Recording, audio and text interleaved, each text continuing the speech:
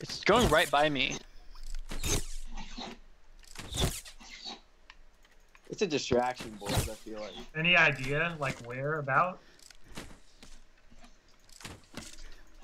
It's from behind me.